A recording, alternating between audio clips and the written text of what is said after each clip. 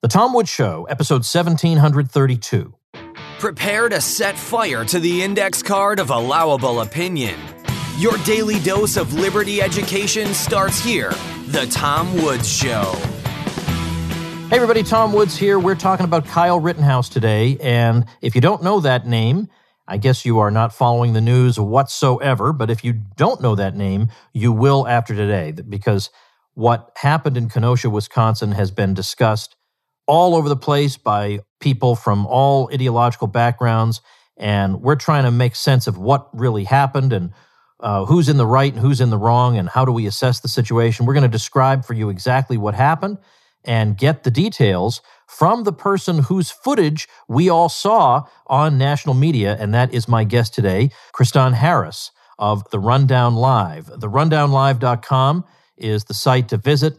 You can listen to the Rundown Live online and also on terrestrial radio. Kristan has been a investigative journalist for some time, and well, he sure landed something very, very important here with the footage that he got on that fateful night.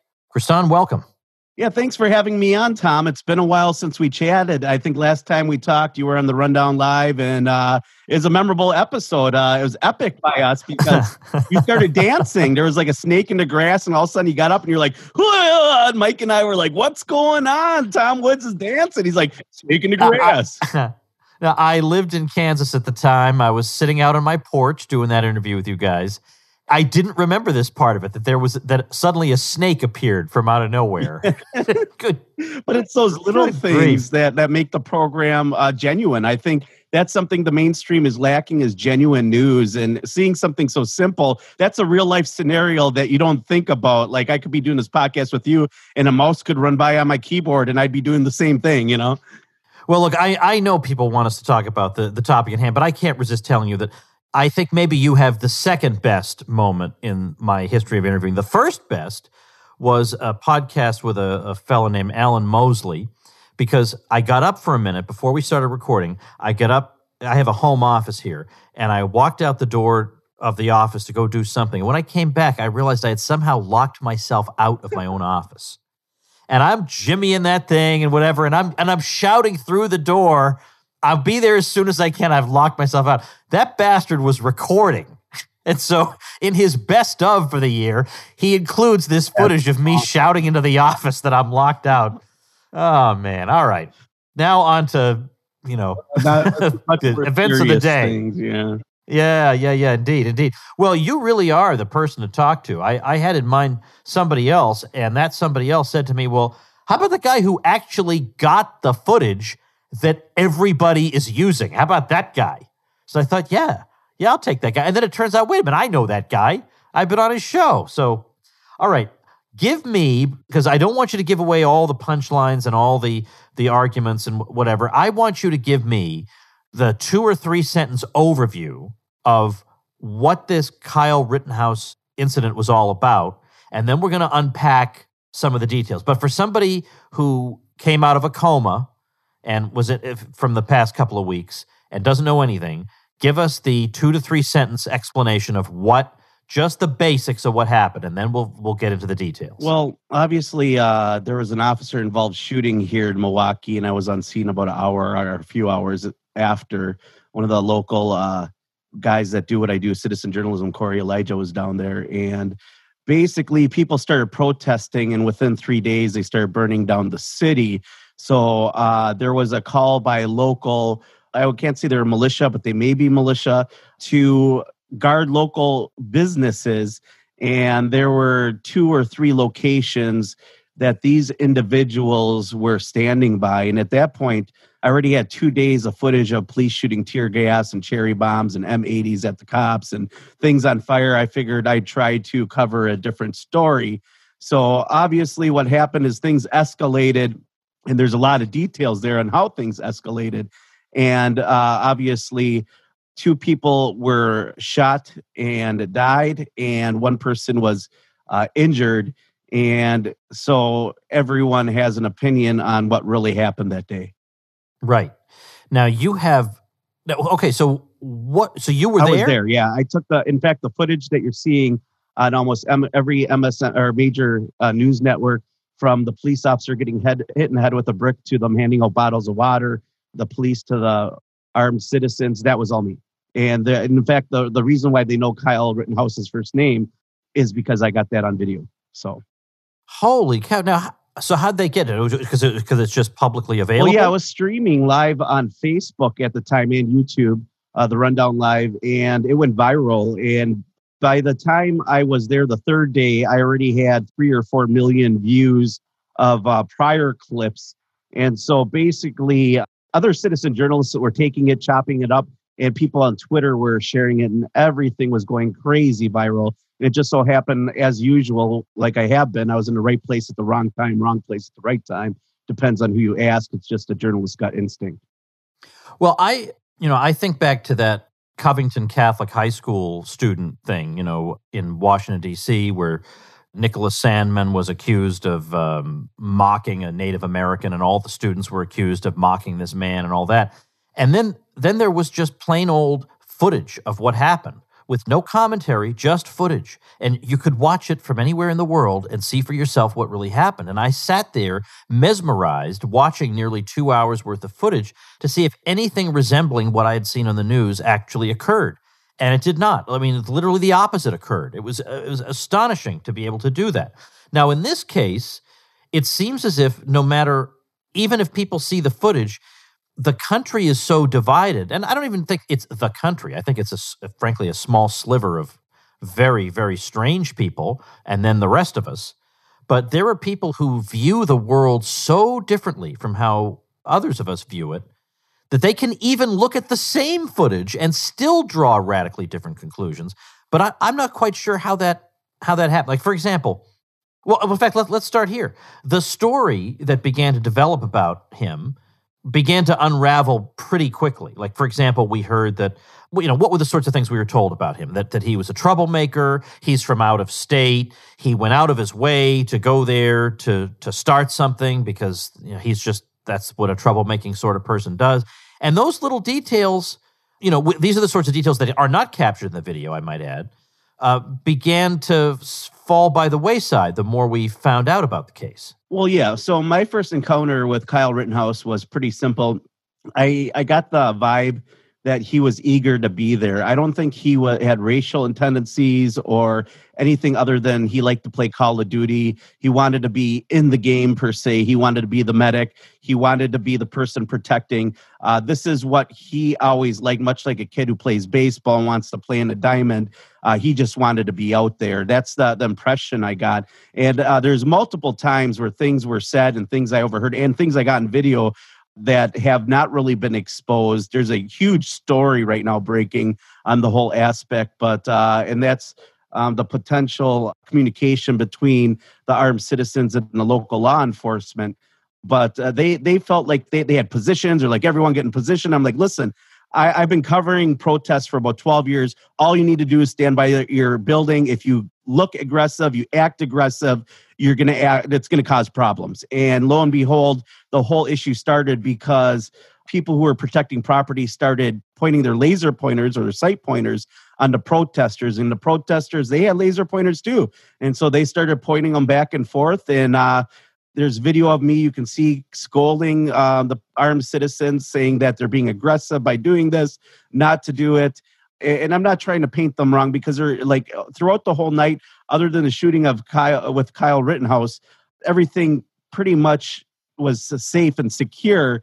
Although things escalated to where the protesters said, F this, these guys have another car lot. Let's go to that car lot. And guess what? That's where Rittenhouse and other people headed to go protect that second car lot. Along the way, there was a dumpster that was set on fire. Obviously, Rosenbaum had some words exchange with uh, Kyle Rittenhouse, and you can see that online. A lot of racial terms were thrown out, and he seemed to chase Rittenhouse. And one thing that is left out that nobody talks about is the protesters were throwing chemical bombs made of um, ammonia, bleach, and some other substances. I don't want to give everyone the ingredients, but they were throwing them at the armed citizens on top of the building and it's a good potential that was what was thrown, or at least what Rittenhouse believed was thrown to him and could have been thrown at him, uh, was a, a, form of either a chemical bomb or Molotov cocktail.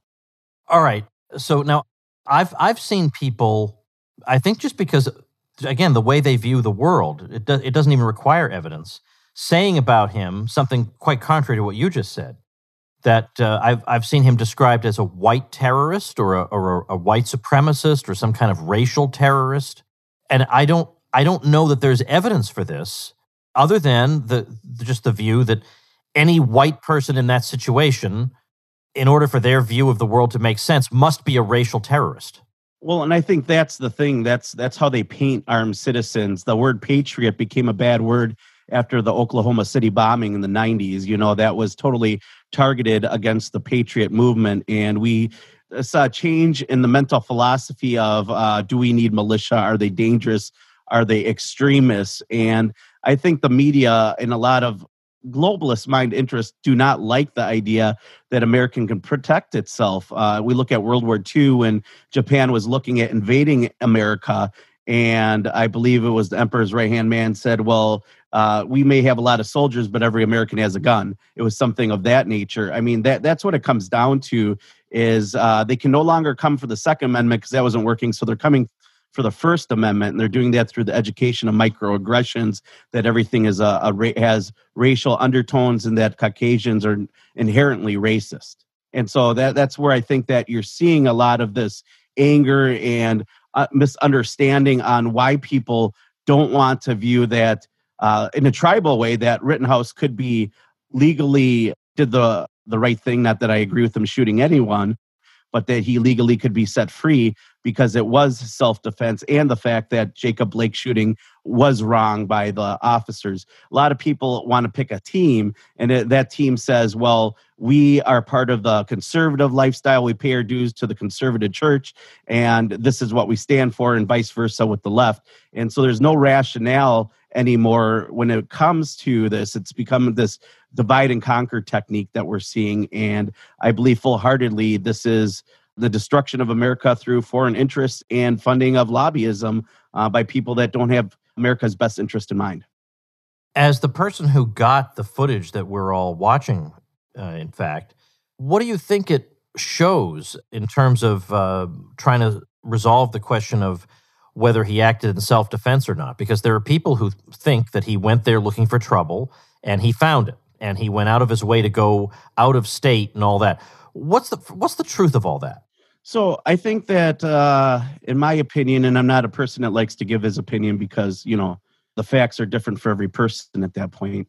Um, but you know, I think Kyle Rittenhouse was a young kid who just wanted to play Call of Duty, and his mother, uh, he had no father, and he um, idolized the lifestyle. You know, he was eager to put be put in the game, and his mother brought him because she was also part of that lifestyle. I believe she brought him. How else did he get home so quickly? It, it's just one of those things where I think somebody like good people make mistakes. You don't have to be a bad person to end up in jail, Tom. You you can be the best person in the world. Every American commits three felonies a day, they say on average. So the question is, was he a white supremacist? I honestly do not believe so. Uh, did I see people there that were ill patient and showed prejudice? Uh, there were a couple people there, but honestly, they were removed from the situation as soon as they couldn't handle as things escalated. And it's just one of those things. They want to say that if he was a person of color, that he would have gotten away or that he would have been arrested. But I'll be honest, there was people of color there that were militia, but they don't want to talk about that.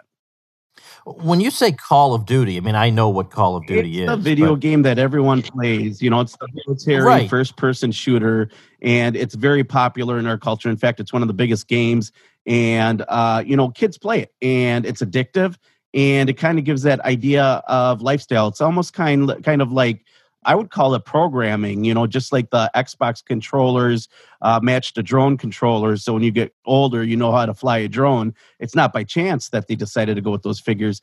I think that uh, Call of Duty, in many ways, is used by the military, I think, as practice. And you can look that up as evidence. But I think it's just one of those things where you know, just like I played RBI baseball, I wanted to play baseball. He just wanted to get out there and be part of something. And he thought he was standing for the right thing. Obviously, he was a Trump supporter. There's pictures of him at Trump meetings. And I'm not saying that all Trump supporters are going to go shoot people or make these kind of decisions. I just don't know why a 17 year old was out there in the first place. Uh, that was a bad decision by the parent. I'm not the person to make that decision, but in my opinion, I would never bring my 17 year old to protect property of some individuals in another state. Okay, but how far away did he live from that state? Uh, not very far. He, he literally Kenosha's on the border of Illinois, so you're talking about 25 minutes, 20 minutes. Um, so okay, like so so these these are the kinds of details I want to get because I, I you know I want to I want to see if the caricature lives up to the reality or not. No, and I understand that uh, he did live close by. Like I said, things escalated, and he went over to the second parking lot, and that's where we saw the original shooting. And then he called someone, which they claimed to be his friend.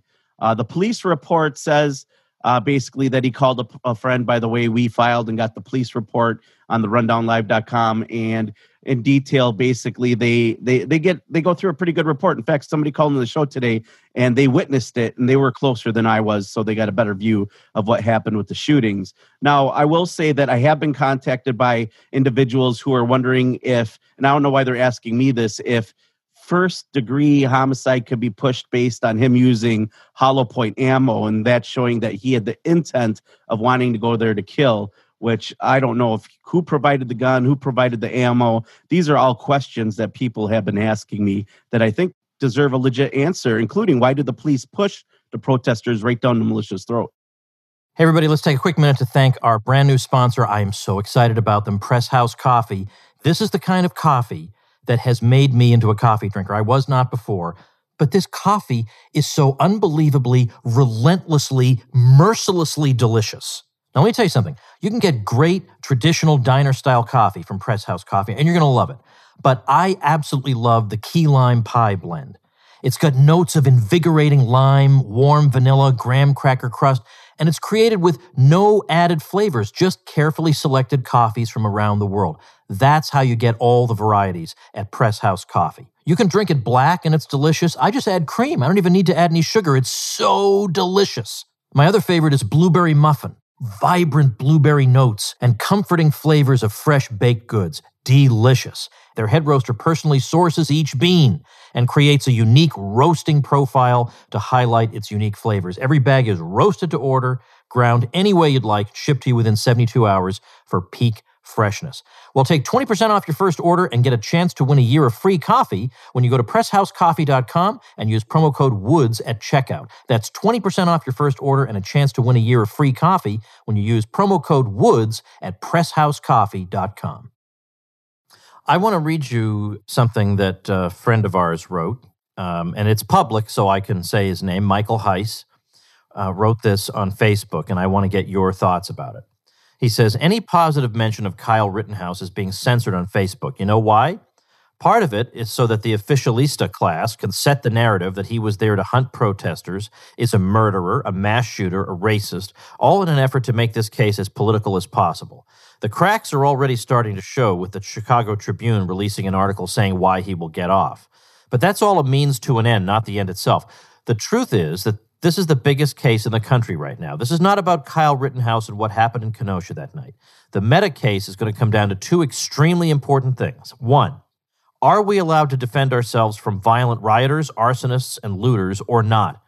And two, given the defense they're trotting out to combat the underage gun charge, are we allowed to form militias to do so? Whichever side wins this case will be emboldened. If he's persecuted, the riots will likely get worse as the precedent between the case and the stand down of police will send the signal that there is absolutely no consequence for violent behavior. If Rittenhouse wins, people will be emboldened to take a stand. It's not going to take too many events like what happened in Kenosha that night for the message to be crystal clear. Wanton violence is dangerous, and engaging in it may well cost you your life.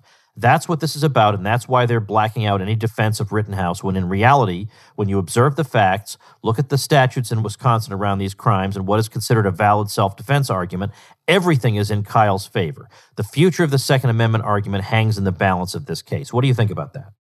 Well, I've heard from some of my my uh, liberal minded journalists that the United States Poverty Law Center is looking to make Rittenhouse a iconic symbol of white supremacy and put him on a list. And I think basically what they're trying to do is create more division because they're feeling that if they can create division, one voting class will vote specifically towards one candidate and that another will vote against another. And as long as they can create the division and that unsettlement, they may bring in enough fear to get people to vote a certain way. Like in Kenosha, we saw people taking down the American flag because they were worried about retaliation. Now, uh, as far as the militia, I support people's right to uh, organize a militia and to defend their property. Do I believe that Kyle Rittenhouse acted in self defense? I believe that for sure when he was in the street and Huber was shot and Rosenbaum uh, or was it uh, Grosskreutz was shot. Rosenbaum obviously was shot, and all that was happening. That a lot of it may have been in self defense. He may, in my opinion, get hit with a second degree homicide, but it is being used as a social engineering tool to divide the thoughts and America in general to think a certain way and to develop that consciousness towards a Joe Biden globalist uh, presidency.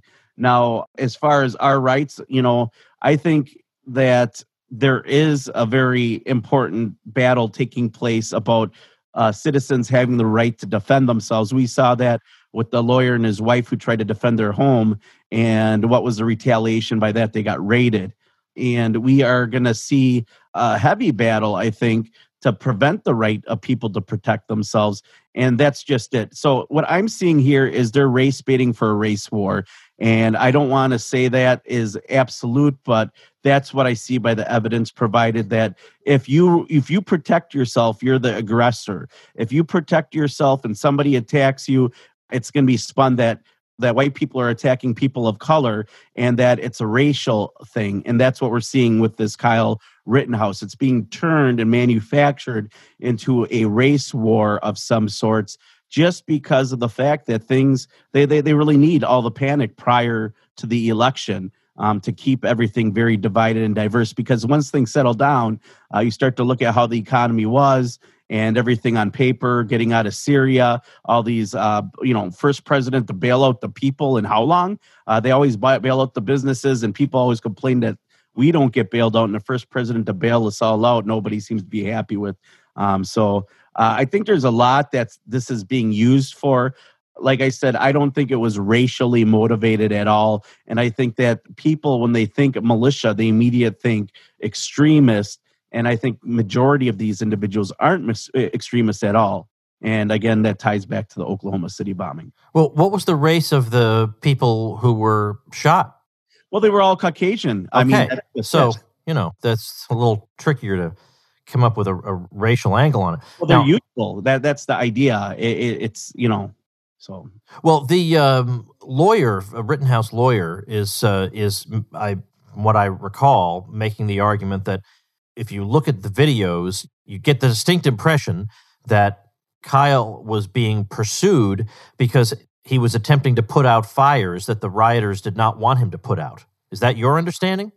Yeah, that is correct. Uh, again, though, you protect your property, not the streets. The streets isn't your property to protect. So I think there's this uh, hazy line there, as where I had to remind the militia many times to stay off the streets because they wanted to go and regulate.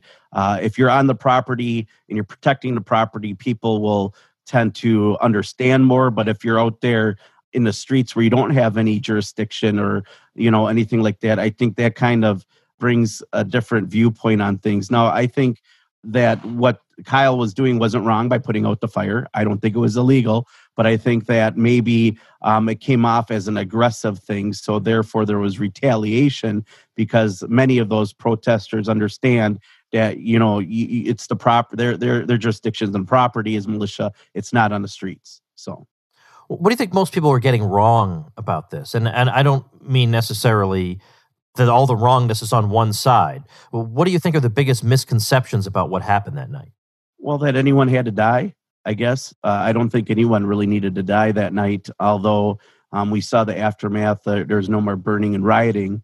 Um, it's sad that it had to come to that. That's a misconception. Other misconception is that, you know, if you think the Jacob Blake shooting was not justified, then automatically you have to think that Kyle Rittenhouse was guilty, which is also a tribal, you know, how we are wired in the two party system. I think that other big things that are misconstrued is that there was racial tendencies or people are trying to be racist. You can tell by the two hours of video I captured that nobody wanted violence. People just wanted to protect the property, and there was a lot of passion and uh, tear gas. There's a lot of craziness going on, uh, chemical bombs, and I think it comes down to that. Uh, you know, this isn't how you you can't have police reform when there's this kind of violence going on because you're going to get the opposite. You know, that's the other thing that you can get police reform by instinctively causing violence when all you're going to do is bring upon more government statism to force you and uh, more of a heavy hand by government to uh, you know kind of put out the big riots and fires across the united states. So let me make sure i understand just in summary what your take on this is. It's that he appears to have acted in self-defense so in that sense you would say that I mean, that is correct. Saying, I, I, would believe so. If I was the judge, I would think um, the for sure that he acted in self-defense. But I understand with the way our liberal system is set up that they may make him spend some time. You know. But if he acted in self-defense, why would you say nobody needed to die? Should he have maybe shot them so that they just were disabled? I think the police made a bad decision by funneling. They had 360 degrees. They could have funneled the protesters, and guess which way they sent them. And there was communication by the protesters that they claimed that the police were sending them our way so we can handle them. So I don't know, and that's that's on record and recorded by me. Now, I don't know if that was just uh, them talking big, like, you know, uh, we're macho, or if there really was these kind of communications between law enforcement and the militia. So uh, there, there's a lot of things that were going on behind the scenes that kind of give a different viewpoint because if the police sent the protesters any other direction, um, I don't believe anyone would have died that night. But uh, who knows? That's the what if game, you know. Now, so now you live in that area, or did you have to go a ways to get there? So I live roughly about 25 minutes from Kenosha, where things are ha- where things happened. Correct. Okay, so what's let's say like the local media, the the local newspapers, uh, local to the extent that you could get a feel for public opinion in that area, is it sharply divided the way it is across the country? I think that uh, it it isn't as divided as people portray. I think that there's a strong amount of people who are just sick of it all, and Trump is becoming more of an appealing option due to the fact that they don't want to see their local communities burn. Even Kenosha, it wasn't locals that burned down the city. It was people that came out from all across the United States. In fact, the guy, the organizer from CHOP was there and I confronted him the last day I was there. That was, uh, I think, uh, the day Trump was there in Kenosha. It was a two, uh, last week, Tuesday. And so people were coming all over to, to be instigators. So, you know, the whole situation in Kenosha and the way the people are rounding up. When Joe Biden came in, he had about 15 people there to support him. Uh, Trump had well over 100 or a couple hundred. It's just giving you a gauge on what people's response is. Not that I am tribal one way or another, but I do feel that this is working in the president's benefit for the fact that locals they do want to see the police force. Many of them were upset that police only protected federal buildings, and that's what caused people to take the course in their own hands. What happens when the police don't protect you? Uh, it's your right to protect yourself. So, okay. So your impression is that if people were pinned down, maybe they lean toward Rittenhouse just in the sense that he represents something. He he represents. We don't want this in our community. Right. Uh, not only just that, yeah, they, they they don't want the violence. They want their city to burn down, and nobody wants anyone to die. It's a very peaceful community. In fact, Milwaukee's BLM movement is one of the few out there that was completely peaceful, did not burn down the city, and they understand the non-aggression principle. You know, I can't support an organization responsible for murder like a lot of the local groups are, but Milwaukee has always kept it peaceful for the most part. And I will have to say they had a lot of leadership except for when Kenosha happened, majority of the leadership was in DC. So go figure. Have you done many media appearances just by virtue of the fact that you were the the person who brought forth the footage?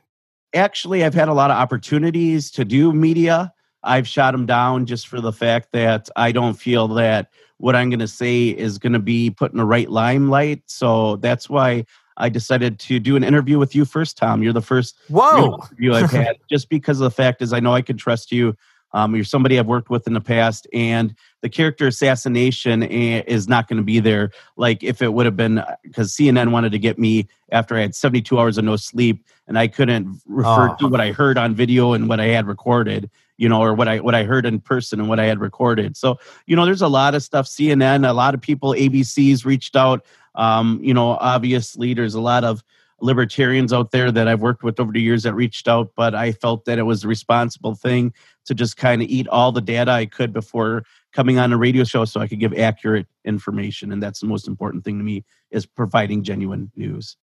Is there any other footage other than yours?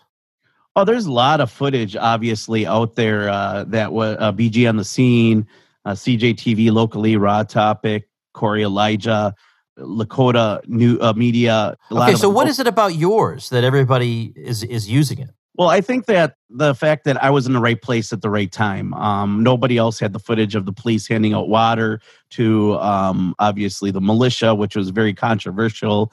You know, uh, I think nobody had Kyle's first name or it on video that you know the dialogue between the armed citizens allegedly with the local law enforcement. Uh, I think that capturing the passion and how a lot of things were diffused and things could have been a lot worse if it wasn't for a lot of people out there trying, specifically citizen journalists out there trying to defuse the situation and actually try to calm people down. And basically, when, when you saw the, the footage, none of that was mainstream media footage. This is a story that's being told by citizen journalists, and they're trying to censor us. Uh, I'll be honest, Tom. Facebook has already started the process to unpublish the Rundown Live on Facebook. And I believe it's full retaliation for me just filming people and being nice to everyone. And it could be because I was in Minneapolis when the third precinct came down and I got Antifa burning down buildings, but it's 100% targeted because we have other Facebook pages with more followers and we basically mirror everything and they targeted specifically the Rundown Live. Uh, citizen journalism is the rawest form of news. And without citizen journalism, there's almost no real news because everything is decided in think tanks and propagandized down by editors and businessmen in suits. So I think that citizen journalism is the way to go. That's the future. And uh, we got to get out there and support people that bring raw and genuine news. If that's what you want, share that. Go find them, subscribe, donate, do whatever you can. Support people like Tom Woods support people like the Rundown Live, support people that are out there in your local community because that's where we start taking back the news. That's where we start taking back the media. Uh, we have a hub platform that's made up of citizen journalists throughout the United States. So if something goes off, we know somebody by now that's in that area and we can report genuine news. And that's why people like the Rundown Live we're such a threat. There's people out there that have millions of followers, but they're not trying to remove them. They're trying to remove us because we are the counterculture to the fake news. And in this case, it could well be that footage coming from a citizen journalist could be the deciding factor in how the case comes out. Well, I'm sure it is. Uh, that's all the footage. I didn't see any mainstream media get any of that footage other than what they licensed. So uh, I think that is the thing. I've already seen there's retaliation now against citizen journalists. They're trying to give us rules at these protests of what we can film, what we can live stream, what we can't live stream, because they're worried that there'll be incriminating evidence. And these are the same people that were probably telling us, uh, don't worry about NSA spying, because if you're not doing anything wrong, you don't have anything to worry about. But they sure don't want us to film them uh, when they're, you know, when they're causing ruckus and rabble rousing. So. Well, very, very. I mean, I'm sure you had no idea what was going to happen, and and that you would be at the center of it. But but here we are. So I guess I can presumably i mean have you written any blog posts or anything like that? Is it just the footage or have you written anything uh, up about it? I, I honestly uh, so we got the kyle rittenhouse police report. I have not written anything because for two weeks straight i was out there every day and i'm just one person. So getting home and chopping up the video and posting it and writing articles it's not something we i can do all the time. Like uh, I can either do video or I can write articles. It's just uh, I was that busy, and uh, it's sad because if we could have had people behind us writing uh, based off the videos, we probably could have gotten more information out there. But it's all out there. And are there videos out there recorded that aren't aired? I do have videos that I have not published, but I started publishing them because the media started posting a fake narrative. So I had to write those publications and say, hey, I'm releasing this video. Uh, that lawyer that you said that was just hitting a pole with something metal, she had two wielding machetes. Uh, and she was uh, swinging them in Kenosha. You know, things like that, where the media is completely fraudulent. And uh, I think it's important that we film at all times and that we develop our own local platforms and that we work together. So uh, maybe I should write, people say I should write a book about it. Uh, I know that ABC is making a documentary. They want to interview me. Um, there's a bunch of different things going on, but everyone feels Kenosha, Wisconsin is the center of it. I think it's for what you said: the rights of uh, the right to protect yourself. Um, what do you do when the local police don't come to protect you? What is a reasonable defense? I think that's for the judges to decide. But uh, you know, I, I guess I, I, don't believe banning Kyle Rittenhouse. GoFundMe's is the right thing either because nobody knows. Everyone wants to judge when nobody knows the verdict, right? Yeah, exactly. Well, I'm, I'm going to link to, of course, I'll link to all your stuff, you know, to the Rundown Live and stuff that you do. I'll link to that at tomwoods.com slash 1732. And I appreciate you taking the time, especially since we're recording this at an unusual hour. So I appreciate you accommodating me on this, but I wanted to get this out. I mean, I suppose this story will still be fresh for a while, but sooner rather than later, I wanted to do it. So I, I appreciate this. Yeah, I plan on going to the trials too. Oh, very good. When does that start? Well, uh, there's a CCAP, and they haven't put a date, but the paperwork's online.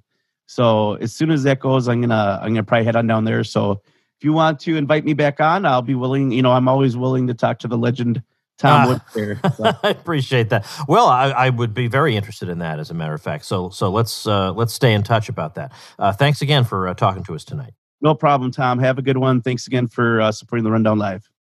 All right, everybody. Let me give you a little sneak preview of next week on the Tom Woods Show. Phil Labonte of the band All That Remains will come back, and we're going to talk about music during this terrible shutdown situation and how musicians are coping, if at all. Also, Sheldon Richman from the Libertarian Institute is coming back. Bob Murphy, the brilliant economist Bob Murphy, be joining us. And Dave Rubin joins the show once again. So lots of great material. Make sure you subscribe to the show, tomwoods.com slash Apple. And of course, for heaven's sake, hop on my mailing list. It's darn good. You get really, really good stuff on there. And the best way to do that these days is to go get my free ebook. Your Facebook friends are wrong about the lockdown. You can get that at wrongaboutlockdown.com, and I'll see you next week. Become a smarter libertarian in just 30 minutes a day. Visit tomwoods.com to subscribe to the show for free, and we'll see you next time. Like the sound of The Tom Woods Show? My audio production is provided by Podsworth Media. Check them out at podsworth.com.